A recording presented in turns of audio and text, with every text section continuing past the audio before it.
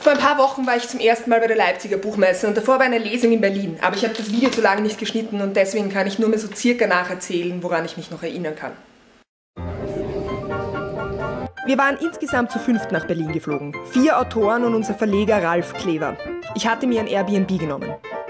Ich sitze hier schon ein paar Minuten, als mir auffällt, dass ich ein Zeitraffer-Video von einer scheiß Baustelle gemacht habe. Hm. Also der Plan ist auf jeden Fall, dass wir heute eine Lesung in der Buchhandlung Tucholsky in Mitte. Und morgen ziemlich früh um 7 Uhr früh ähm, nach Leipzig fahren zur Buchmesse. Okay, ich habe mich dazu entschieden, was essen zu gehen, aber das ist irgendwie ein Geisterbahnhof. Ich weiß nicht, ob hier jemals irgendwas kommt. Die Legende besagt, dass schon seit 78 hier kein Zug mehr eingefahren ist. Ich suche gerade mein Lieblingskatsudon. Ich suche gerade mein Lieblingskatsudon-Restaurant. Ohne Google Maps wäre ich sowieso aufgeschmissen.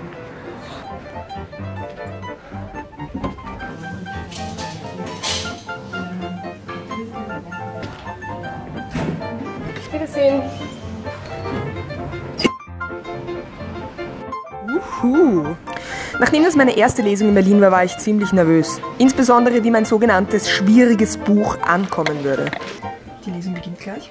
Ähm, und ich bin schon in der Buchhandlung in meinem äh, Leseeck für Kinder. Lesungen sind Lesungen sind Lesungen. Man liest sich selbst Dinge vor, mit denen man eigentlich längst unzufrieden ist. Zum Glück konnte ich Richard Schubert zuhören und sah ein paar Zaubertricks des Prater-Duos. Alles noch nie gesehen. So, Lesung vorbei. Heimweg, morgen 7 Uhr. Tagewache. Und herzlich willkommen bei der Leipziger Buchmesse. Die Massen strömen im Stechschritt in die Halle hinein.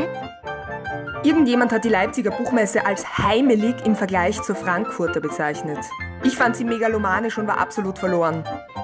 Ich habe keine Ahnung, was ich hier eigentlich mache. Ich habe überhaupt keine Agenda und streife Trabande die ganze Zeit ziellos durch diese Hallen und schaue mir Bücher an.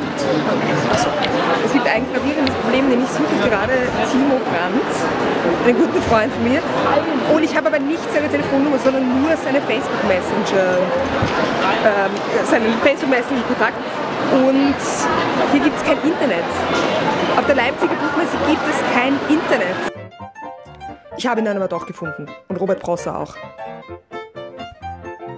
Auf irgendeiner Leseinsel im fünften. Leib sein als Aufgabe. Jetzt die Frage als Aufgabe im Sinne von, von Arbeit oder als Aufgabe im Sinne von Aufgeben? Aufgeben. Ja? Ja. Wofür schlägt dein Herz? Tirol. Zu zweit auf einer Buchmesse sein ist schon wesentlich erträglicher. Warum wir auf der Buchmesse sind, Ja. das kann dir niemand, der hier rumgeht, erklären. Du hast gerade ein Buch rausgebracht. Ja. Das verstärkt die Sinnlosigkeit. Und das war alles, woran ich mich erinnern kann.